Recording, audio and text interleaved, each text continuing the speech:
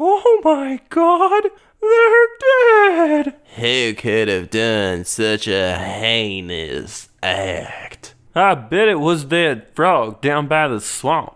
I don't like that frog. He's got them shifty eyes. It was that convict Ironjaw, that rapscallion. I bet it was that strange shadowy figure that likes to swing in the park on Thursday nights. I swear to you, it was my stuffed panda. He's, he's possessed. It could have been Ricky's arm. We haven't seen it since it got cut off. I definitely know who the killer is. That way. Blank is the killer. Hello and welcome to Blank is the Killer, the unoriginal horror movie podcast where I, your death negotiator Josh Baker, cover six new to me horror movies with a random spooky topic 7 at the end. This episode includes Killer Bees, Deadly Dolls, and Fashion Fatales. I'm not going to remind you that you can email me at blankisthekiller at gmail.com in the intro of this episode. So follow me as we look at haunting graffiti and definitely all believe that Candyman is real. Number 1 The Gift 2000, directed by Sam Raimi. A sidekick named Annie does readings for people in her town. She helps a guy named Buddy with some issues. She also helps police find the body of a girl named Jessica in a pond belonging to a guy named Donnie. Buddy's dad sexually abused him when he was a kid. Buddy lights him on fire and goes to a mental hospital. Donnie is charged with Jessica's murder, but Annie doesn't think he actually did it. Annie realizes the actual killer is Wayne, Jessica's fiance, who was tired of her cheating on him. Annie figures this out after having a vision while at the pond with Wayne. He attacks her, and Buddy, who says he escaped the hospital, saves Annie.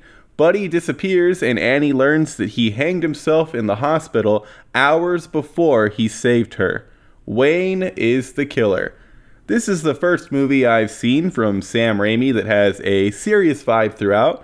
His Raimi isms still show, but they're muted given the tone of this movie. The Gift is way darker and grittier than The Evil Dead and Spider Man. Keanu Reeves even drops a hard R in The Gift as Donnie Barksdale, for no real reason other than lazy writing. Donnie beats his wife, cheats on her, threatens Annie and her children, but since that's not enough for the audience to realize he's a big fat jerk, the script also called for a random hard R. It's weird and completely out of place. Am I supposed to be like, oh, it's cool that you beat women, Donnie, but I draw the line at racism? Keanu Reeves is probably the worst possible person for the role of Donnie. He looks like a puppy dog man, not some wife beating hick. His beard is even perfectly manicured in the movie. If you're going to have Keanu play a racist, misogynist backwoods character, at least rough him up with some styling and makeup effects. Keanu's acting doesn't really work in the gift, but props to him for trying to play a character that doesn't fit him at all. For those curious, the gift was written by Billy Bob Thornton and Tom Epperson. Yes, that Billy Bob Thornton. It's said to be based on his mom's psychic abilities. He's actually written several movies. He even won an Academy Award for Best Adapted Screenplay for Sling Blade. Anyway, we're talking about The Gift. The movie is a by the book who done it. You instantly know Wayne is the killer as soon as you find out Jessica is dead. Why did I even decide to watch this? Well, it's directed by Sam Raimi and has a star studded cast including Keanu Reeves, Cate Blanchett, Katie Holmes, J.K. Simmons, Hilary Swank, and Giovanni Ribisi. The best performances come from Blanchett and Ribisi. Pretty much everyone in the movie does a poor southern accent, though. I guess the main reason I decided to watch The Gift was to see Raimi direct something a little outside his wheelhouse. The Gift isn't an amazing movie, but that's not due to Raimi's directing. It's just a mediocre movie. I think the movie would have worked better with a thick layer of camp. As it is, The Gift is just another whodunit thriller at the bottom of a pond filled with other whodunit thrillers. Nothing makes it stand out, it's predictable. I did love seeing Raimi's more campy style peek out at times, like when Annie slips on some spilt paint with an unintentionally silly sound effect added to the landing that didn't really fit the tone of the scene. I didn't think I was supposed to laugh seeing as Donnie knocks over the paint while pulling his wife out of Annie's house by the hair. Raimi's signature style also leaks out when Annie's having visions. There are lots of quick cuts and weird zooms. Of course, Annie drives a Delta 88 Oldsmobile. Katie Holmes plays Jessica, and her corpse and ghost looked alright, but wasn't anything special. I've never been a fan of Katie Holmes. She's not bad in The Gift, I just don't care for her. J.K. Simmons plays a character named Pearl Johnson. I only wanted to bring up the funny name. The ending is incredibly silly. Annie's been shown to be able to see ghosts. She sees her grandma, who's also Peter Parker's aunt, in her backyard, but it's a little goofy that Ghost Buddy is able to physically save Annie. The Gift isn't a great movie, but it's not an awful one either. It is too bland for me to recommend though. Number 2, Candyman, 1992, directed by Bernard Rose. A graduate student named Helen is researching urban legends. She hears about one legend in particular, Candyman, who's allegedly responsible for murders at a nearby project called Cabrini Green. Helen investigates, ends up in a bathroom where a boy was said to be attacked, and is assaulted by a gang leader using the name Candyman. After she's attacked, police finally put in the effort to arrest the man responsible for the attack and other murders. The real Candyman then shows up and says he needs to kill since Helen said he wasn't real. Candyman frames Helen for killing a dog, kidnapping a baby, and murder. Helen is sent to a psychiatric hospital. Candyman kills a doctor who's meeting with Helen and she escapes. She goes to her apartment where she finds her husband with a young student. Helen heads back to Candyman's lair at Cabrini Green and gives herself up to be his victim. She then saves a baby from being unknowingly burned to death in a bonfire by sacrificing herself. Candyman also perishes in the fire.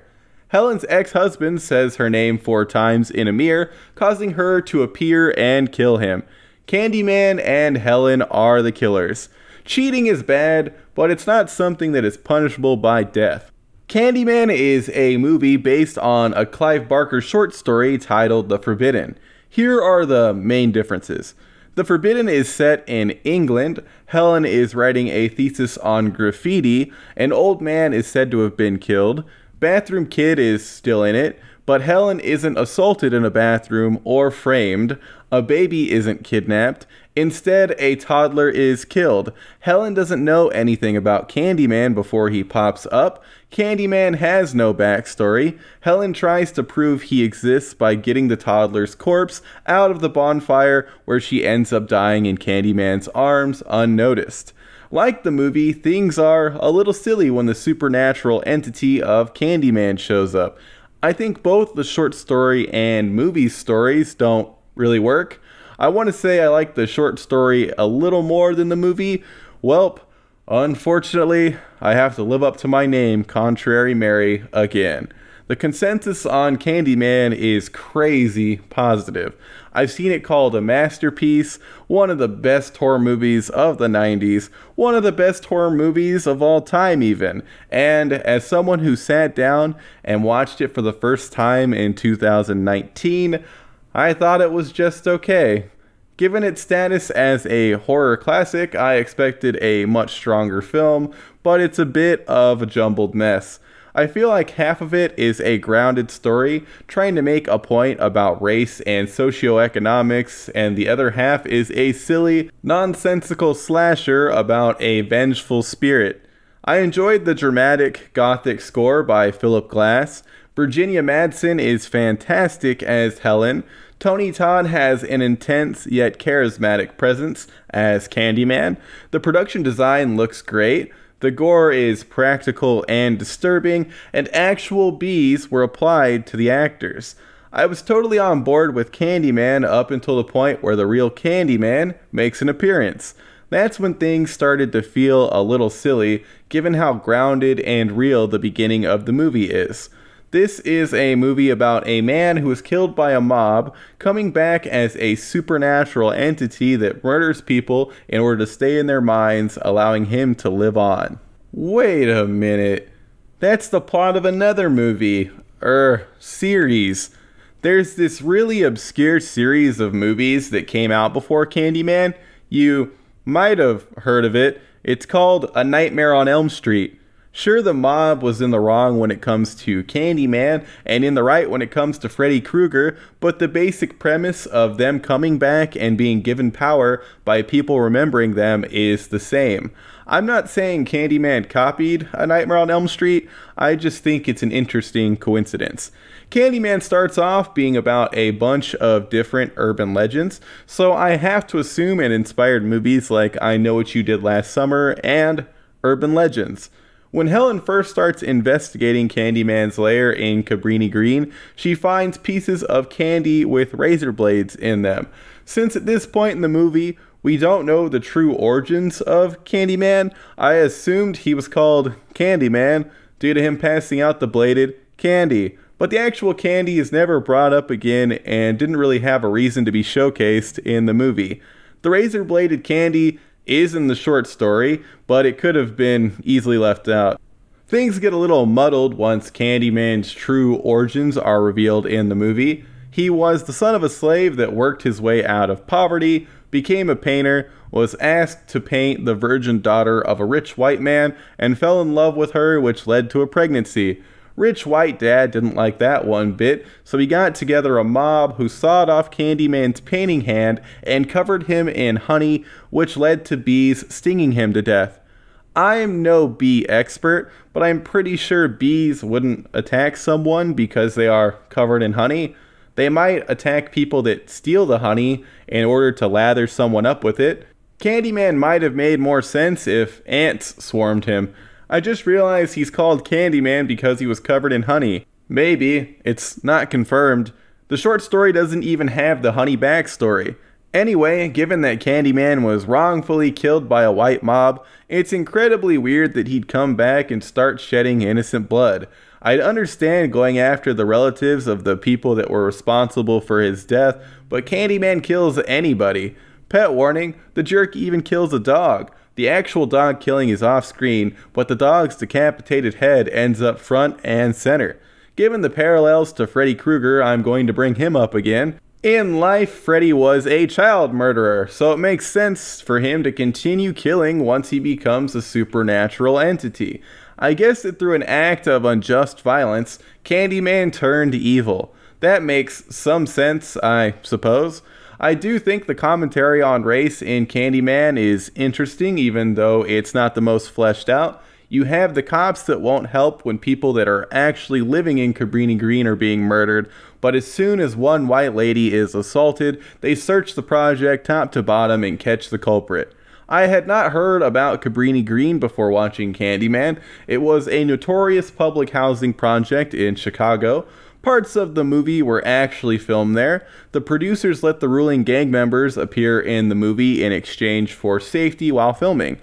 In Candyman, the idea for the bathroom cabinets easily being used as passageways between two units was taken from real life. A woman named Ruth Mae McCoy was murdered by men who accessed her apartment from another through her medicine cabinet. The original choice to play Candyman was Eddie Murphy. I don't see any way that would have worked. I'm still amazed by the use of actual bees in Candyman. The bees were bred specifically for the movie and used when they were around 11 hours old. At that time, their stingers aren't supposed to be fully developed. Tony Todd had real living bees in his mouth. Throughout filming Candyman and its two sequels, he is said to have been stung at least 23 times. Mad props to Tony Todd for his work with the bees. Before I wrap this section up, I want to talk about Helen's actions in the parking garage right before she meets Candyman. Helen is given some developed camera slides. She thought the camera was completely destroyed. She walks through a parking garage looking at the small slides, and the look on her face is hilarious. She has a huge, toothy grin and literally peers over her sunglasses to look at the pictures. She gawks at the pictures like a teenage boy ogling a nudie mag centerfold in a coming of age movie. It feels so out of place and elicited a laugh from me. I listened to an interview with Tony Todd, and he considers the movie's genre to be a gothic romance. If the idea that Helen was Candyman's original lover reincarnated had more depth to it, I think the movie could be called a gothic romance slasher. Candyman is not one of the best horror movies of all time. It is a passable slasher with underdeveloped romantic elements thrown in during the second half. If you've never seen Candyman, I definitely think you should check it out, given that it's an iconic movie, but temper your expectations. Number 3 Candyman Farewell to the Flesh, 1995, directed by Bill Condon. In New Orleans, a teacher named Annie and her family are surrounded by mysterious murders. Her brother is brought in as a suspect. Annie summons Candyman while trying to prove to her class he isn't real. Candyman is the one who's been killing and kills more people, including Annie's husband. Another one of Candyman's victims is a detective interrogating Annie's brother. Her brother tries to escape and is shot dead by a policeman. Annie learns more about Candyman. He's a distant relative and is able to live on because his soul was trapped in a mirror. Annie destroys the mirror, defeating Candyman. Annie then has Paul's daughter, who she names Caroline after her great great lots of greats grandmother, the girl Candyman fell in love with. Candyman, a mob, and a policeman are the killers. She has Paul's daughter? What a weird way to phrase that. Paul's her uh, husband that Candyman kills. I just wanted to make it clear that it wasn't some type of Candyman Immaculate Conception. Oh, and they show the mob kill Candyman this time around, so they're on the list. Candyman 2 Sweeter Than Ever. I'm not sure why I decided to check this out. I didn't particularly like the first one, but heard the sequel wasn't too bad. Candyman 2 is a little bit more cohesive. Like the first one, Candyman torments a blonde woman. Candyman has a thing for torturing blonde women. I'm not going to watch the third movie, but I'm willing to bet Candyman messes with a blonde lady. In the sequel, a lot of Candyman's victims are his direct descendants. Candyman loved Coraline. I mean, Caroline. Coraline is a great movie that's based on a short story by Neil Gaiman. Candyman had a daughter with Caroline. Some of the people he's killing are his daughter's direct descendants. Why would he want to kill his own family? I know that his would be stepdad led the mob, so Candyman's descendants are also descendants of evil stepdad. The family wasn't completely acknowledging Candyman's existence either, so in that case, he has to kill them.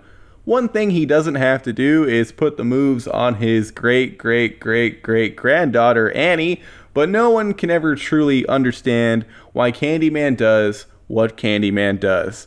As a movie, Candyman 2 is competent. It's not as well shot or acted as the first movie. The acting in the sequel is abysmal. Annie's brother has a transatlantic accent in the beginning of the movie, which he later drops. Every scene he's in is hilarious due to his unbelievable delivery. Annie is played by Kelly Rowan of the OC fame. She's the best of the bunch, but this isn't her at the top of her game. The sound design is pretty awful. Sound effects that don't match what's happening on screen are used during unnecessary jump scares. Example Annie's husband slowly walks up behind her and grabs her shoulder in a non menacing way. Annie jumps for no reason while a pig squealing sound effect is played. Terrible jump scares in that same vein pop up throughout the whole movie. Philip Glass comes back to do the score, but it doesn't fit as well this time around. One of the themes also has three notes sung in an a cappella style that sound like it should be followed by the James Bond theme, which made a lot of scenes unintentionally funny. The three notes would play, then I'd be compelled to go. You can hold your applause. The gore in the sequel isn't as good as it is in the first for the most part. There is a really cool part where Annie scratches into Candyman's face, making an opening for live bees to make their way out of his body. That was a fantastic visual and creepy idea. I could totally tell it was a fake head when I looked at the face instead of the bee escape hatch wound, but the effects still looked really neat. The face of the head prop should have been hidden a little better or left out of the shot entirely. When Candyman is defeated, some of the worst CGI effects I've ever seen are used. I'm not sure why it was decided to use an awful looking CGI shattered glass effect instead of having him crack all over with bees flying out like in the face scratch scene. I still don't believe bees attack people that are covered in honey. When they show a terrible looking CGI swarm of bees randomly appear and make its way to the slathered in honey Candyman, it looks real bad. If bees do in fact attack people covered in honey, let me know. Pet warning, you see the body of a dead cat, it's not that bad. You know Candyman has to kill a pet and attack a blonde woman. It's in his contract.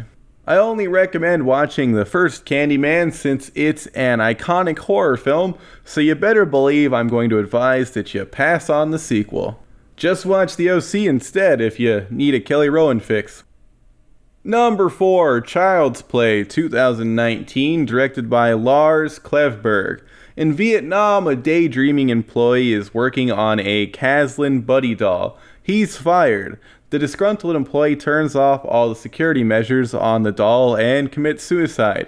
In the United States, Aubrey Plaza brings home a defective buddy doll to give her son Andy. The doll names itself Chucky. Andy and Chucky bond. Chucky is taught that violence is fun after seeing some clips from the Texas Chainsaw Massacre sequel. Aubrey has a new boyfriend named Shane that's a real jerk. Andy tells Chucky he wishes Shane would go away. Chucky kills him and gives Andy a watermelon with Shane's face on it as a gift. Andy and his friends remove Chucky's power source to stop any future death. A creepy janitor fixes Chucky, who then murders a bunch of other people by controlling Kaslan products. Andy, Aubrey, and a policeman eventually take Chucky down. Chucky is the killer. Or is a disgruntled Vietnamese employee the killer? What about violent horror movies are the killers? They are what rotted Chucky's mind. I've seen a lot of horror movies, so I obviously too have killed countless people and adorned produce with their skinned faces. Let's go with Chucky. He had free will after all. I never personally got into the original Child's Play series. I want to say I've only seen the original movie. With that said, what did I think of Child's Play 2019 as a standalone movie? During the first 10 minutes, I thought I was going to hate this movie. That's mainly due to the fact that some jackass decided to cast Aubrey Plaza as the mother of a 13 year old boy. Before she referred to him as her son, I honestly thought they went with the brother and sister route, which would have worked a lot better. Having Aubrey be Andy's sister wouldn't even change anything. Aubrey Plaza is not a believable mom. If her character got pregnant at 16, then yes, she could technically have a 13 year old son. In a vacuum, maybe Aubrey Plaza works, but she's been in a ton of stuff where the last thing you'd call her is motherly. Liv Tyler appears to have been considered, which would have made a lot more sense. Once I got over some of the worst casting I've ever seen, I had a lot of fun with Child's Play. All the dialogue is hammy and silly. Sometimes the cheeseball dialogue is fun, but at other times it's real lame. My eyes did a full rotation through the back of my head when a young kid told Chucky to say, This is for Tupac, while having him stab a stuffed animal, which Chucky then uses while killing a victim later on. The kid is around 13 years old. He'd probably tell Chucky something like, This is for XXX Tentacion, which I guarantee I mispronounced. All I know is that dude was a rapper and all around terrible person who was killed. I'm not saying he's in the same league as Tupac, I'm just saying that's what the kids are into nowadays. Most of the acting in Child's Play is bad. I've never found Aubrey Plaza that great of an actor, which makes the casting choice even more perplexing. I watched a recent interview she did on Hot Ones, and she said she doesn't even like horror movies. It's mind boggling that she was cast as the mom. She's not believable in the role, isn't great at acting, and probably didn't even really push to be in the movie herself. Mark Hamill works as Chucky. I have no attachment to the normal voice. Gabriel Bateman plays Andy, and he's pretty good given that a lot of his scenes are just him and the Chucky doll. He wasn't particularly amazing, but compared to everyone else, the kid knocked it out of the park.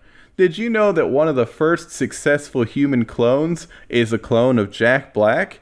He's listed as Trent Redekop, but you aren't fooling me, black market clone scientists. JB's clone plays the overly creepy building custodian. Him and the Shane character are both presented as cartoonishly unlikable.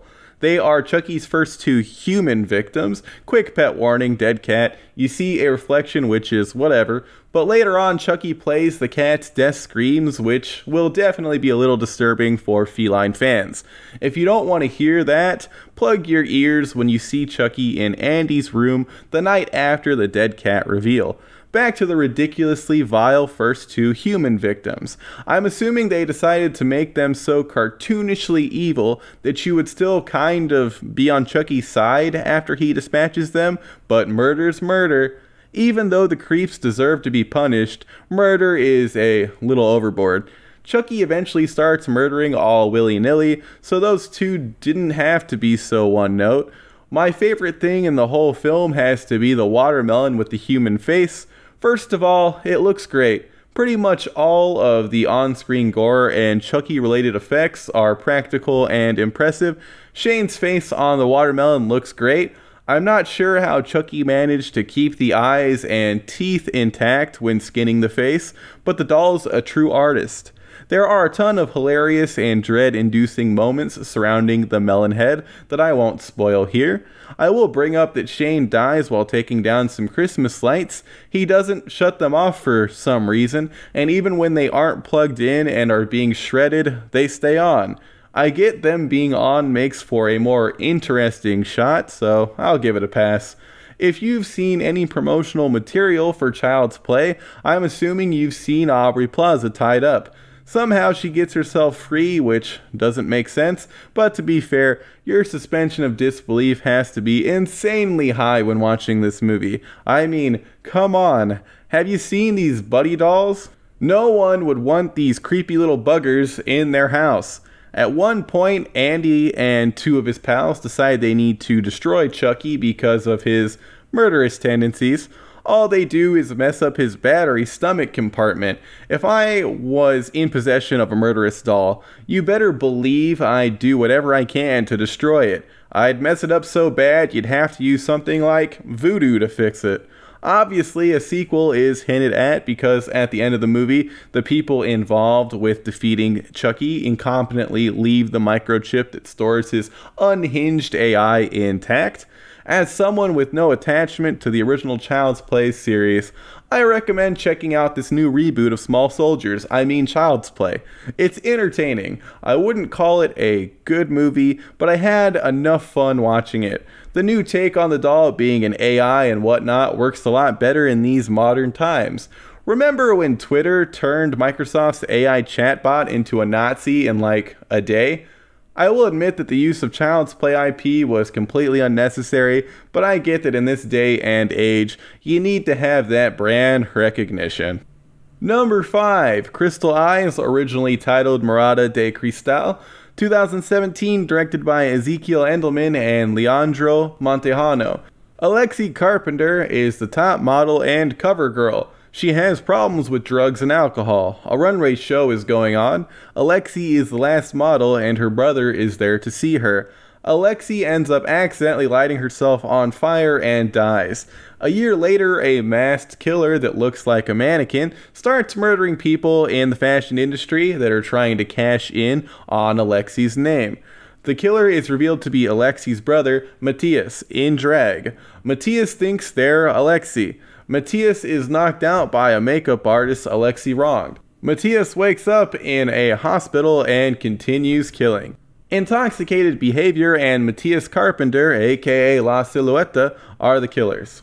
I watched Crystal Eyes at Terror Tuesday here in Austin at the Alamo Drafthouse. It's an awesome weekly horror screening that I used to go to all the time until I decided to be lazy and cheap and watch spooky movies in the comfort of my own home. I hadn't been in years, but I had to attend to catch this screening of Crystal Eyes, which is incredibly hard to track down. The filmmakers don't have a distributor yet, so the only way to see the movie at this time appears to be film festivals and other screenings. This is the second feature length film from Ezequiel Endelman and Leandro Montejano of Toy Boys Inc. movies. The first being Un Viernes Negro, Parte Dos, La Maldición del Gato, which translates to A Black Friday Part 2, The Curse of the Cat. Part 1 was a short film. Both parts can be watched on YouTube, so I might brush up on my Spanish since it doesn't have subtitles and check it out for the next episode.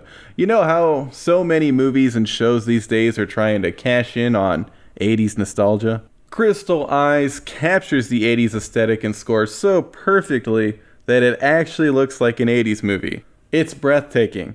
The cinematography is on point, the framing of shots is fantastic. Crystal Eyes has some of the most incredible production design I have ever seen. Miniatures and sets were used to heighten the style of the film. The head of the fashion magazine's mansion feels like it was pulled right out of Suspiria. The colors in Crystal Eyes are vibrant. Neon glows are used liberally to great effect. All the lighting is great. The costume design is impeccable. Your eyes will love this movie. The score is synth based, it's melodramatic and whimsical at the same time. The whole movie feels like a crazy 80s soap opera slasher. La Silueta is played by Isis Trash, a drag queen from Argentina. Isis is fantastic as the mannequin killer. Her movements are stiff and, well, mannequin like. Isis Trash not only did an amazing job as La Silueta, but she also played a major role in the art design along with the Toy Boys. I can't find a source, but at Terror Tuesday, the presenter said that almost all of the production and art design can be attributed to Isis Trash. Ezequiel Endelman, Leandro Montejano, and Isis Trash are all credited as art directors on the film. I'm interested in learning more about Isis Trash, but she doesn't have much of an online presence. Maybe she'll end up on Dragula, the spooky version of RuPaul's Drag Race someday. Now, since this is Toy Boy's second and most ambitious feature length movie, it's not perfect.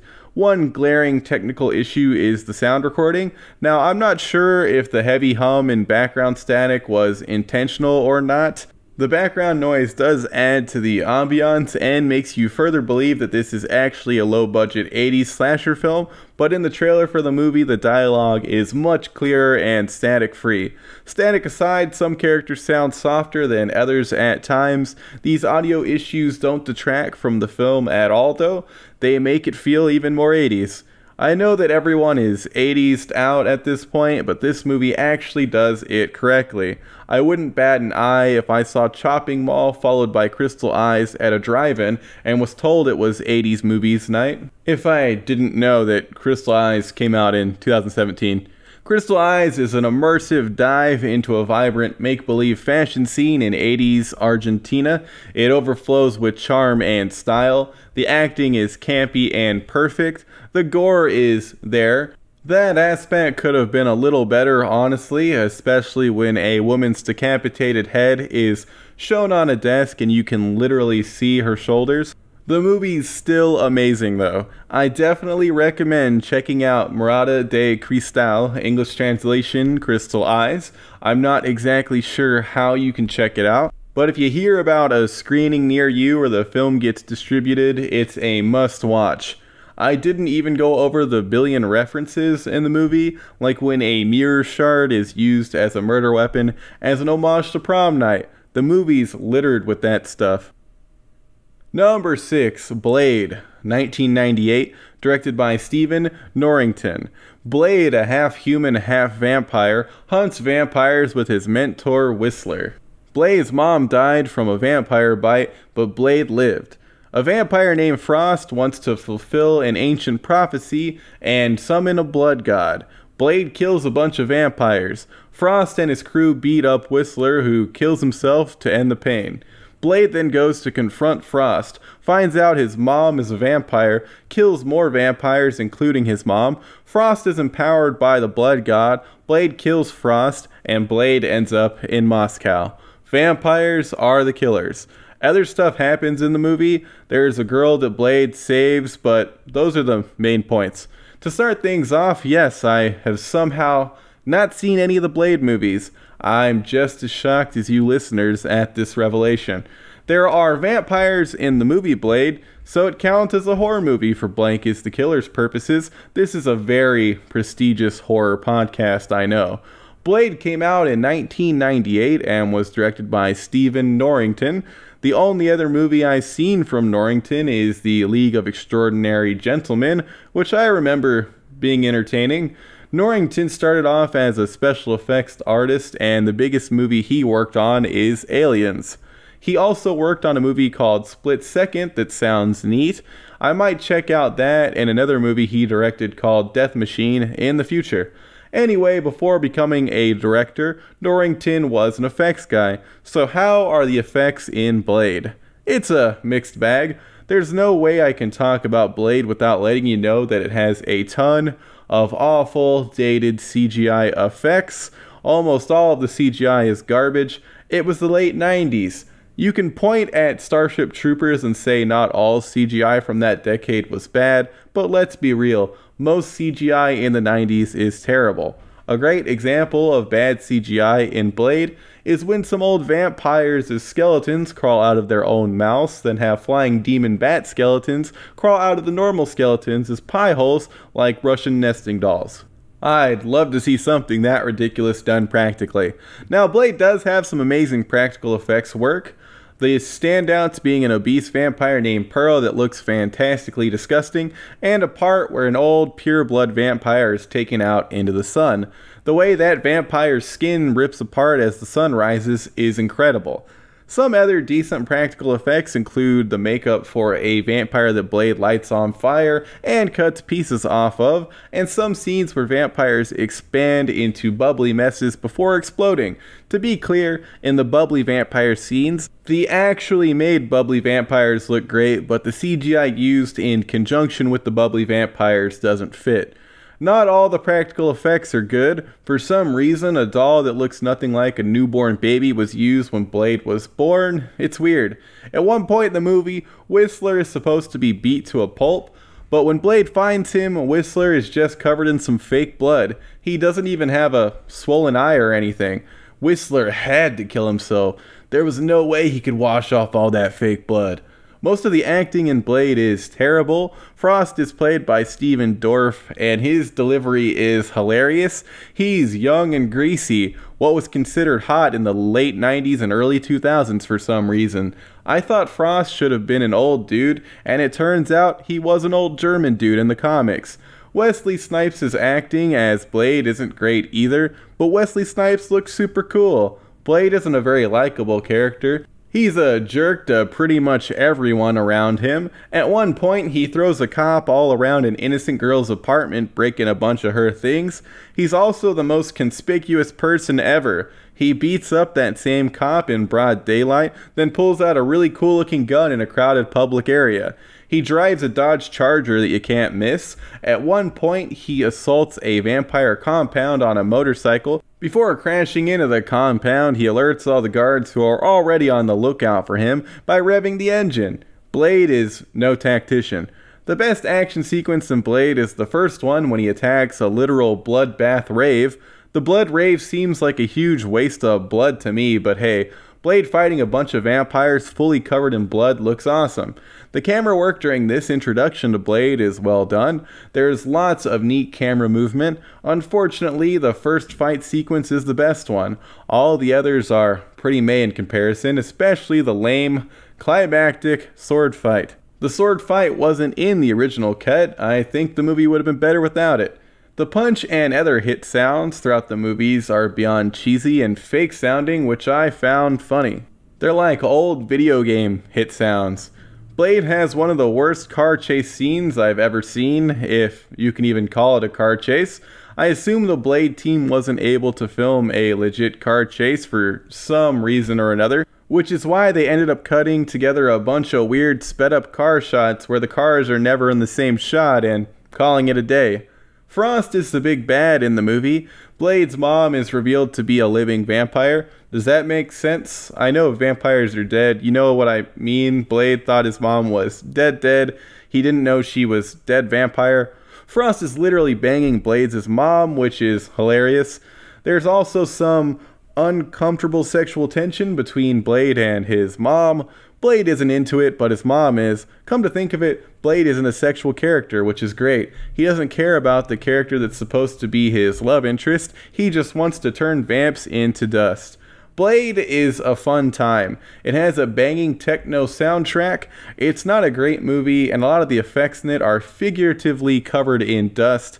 I still had a great time watching it. It is two hours long and drags in a few places, but I overall recommend checking out Blade. One last thing at one point in the movie, Blade's human friend is being threatened by Frost. He says he'll kill her or turn her, to which I thought she responded, Go ahead, bite me. I'll just kill myself. I did it before and I can do it again.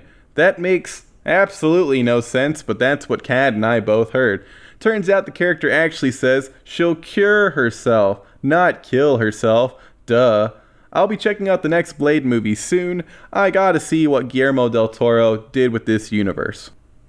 Number 7 Elvira movies. I recently checked out two of Elvira's big movies Elvira Mistress of the Dark and Elvira's Haunted Hills. At first, I planned on having Elvira Mistress of the Dark as one of the main movies in this episode, but I decided to babble incoherently about both movies here in the seventh topic instead. I had a ton of fun watching Elvira Mistress. The wordplay and expectation subverting jokes are hilarious. The cinematography is surprisingly well thought out. I thought Mistress was just going to be a cash grab movie featuring Elvira. That's Haunted Hills. That movie is ass. The jokes don't land, the movie drags, and one of the main characters, Vladimir Hellsubus, is a groan inducing piece of garbage.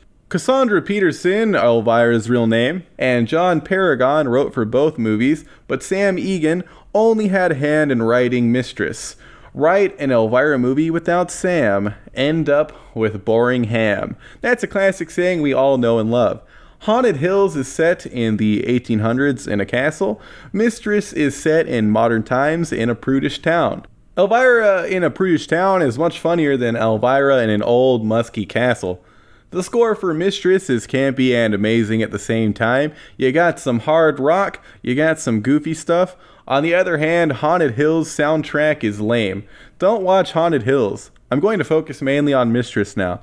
Things I really liked in Mistress Elvira's dope car, her inherited fluffy punk poodle, the Puritan townsfolk's reactions to Elvira, the witty writing, the cheeseball score, the inclusion of a bazooka, and all the performances. Mistress is a fun movie. Before I sat down and watched these movies, I hadn't really interacted with much of Elvira's content. The only Elvira thing I got my hands on was a large slot machine in Vegas, and boy oh boy did I lose big on that machine. Don't play the Elvira slot machine in Vegas. It's garbage. If you want a horror slot machine to play, check out the Gremlins one instead. That machine is awesome. It's got dope animations and gimmicks. Anyway, Elvira. If you are an Elvira fan and know about some of her other stuff I should check out, let me know at blankisthekiller at gmail.com. I've already seen Pee Wee's Big Adventure. I didn't realize she was in that until recently. She's not in the Elvira getup. Wait a minute. Elvira Mistress of the Dark is pretty similar to Pee Wee's Big Adventure. I guess I like movies where oddball characters go on a road trip to get something. It makes sense the format of the movies is so similar, seeing as Elvira and Pee Wee Herman were both created while Cassandra Peterson and Paul Reubens were in an improv sketch comedy troupe called The Groundlings. Elvira and Pee Wee are pals. A lot of famous funny people are alumni of The Groundlings. In closing, watch Elvira, Mistress of the Dark. It's a riot. Blank is the Killer 48, Killer Bees, Deadly Dolls, and Fashion Fatales' coffin has been nailed shut. If you liked what you heard, why not leave a review on iTunes or email me directly at blankisthekiller at gmail.com with any questions, recs, concerns. You can also interact with me in the comments section of the bi weekly Blank is the Killer post, which you can find on Instagram at Bonesaw Baker. A big thanks to Sticker Fridge for hosting the podcast. Listen to other podcasts on the network. Next episode will be up on July 14th. Expect Blade movies and Midsommar. Pagan, please let the latter live up to the hype. Until then, remember to never show an AI horror movies or let it talk to anyone on the internet.